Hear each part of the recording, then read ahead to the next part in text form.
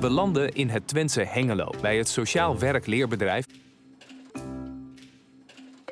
Wij vieren dit jaar ons 50-jarig jubileum.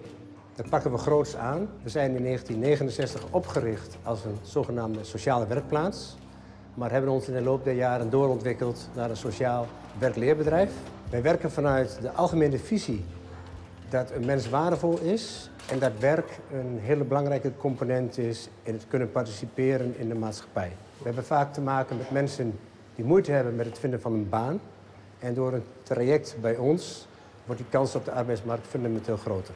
We zijn hier bij onze groentuin. Vanuit SWB is dit de instapplek om werknemersvaardigheden te ontwikkelen voor mensen die uiteindelijk uh, zo regulier mogelijk aan het werk gaan.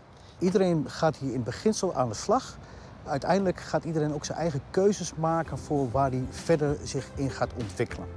Van de 100 deelnemers gemiddeld eh, zullen er 90 andere keuzes maken. Logistiek, catering uh, enzovoort. 10 ongeveer zullen zich verder gaan ontwikkelen in het groen en aanverwant. Nou, de eerste stap is om de deelnemer te leren kennen. Waar liggen jouw aandachtspunten en waar wil je jezelf in verder gaan ontwikkelen? Dat iedereen zijn eigen keuze daarin maakt. En vervolgens gaan we dan in gesprek om die stappen dan ook daadwerkelijk te kunnen nemen. Wij gaan uit van ieders kracht en mogelijkheden.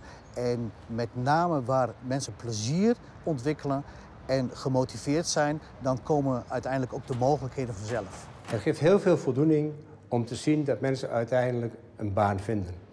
Voor ons, voor onze werknemers, maar met name voor de mensen zelf. Ze hebben jarenlang moeilijk gehad op de arbeidsmarkt. En als ze dan uiteindelijk die betaalde baan vinden, zie je ze gewoon opbloeien en zie je ze veel meer zelfrespect krijgen.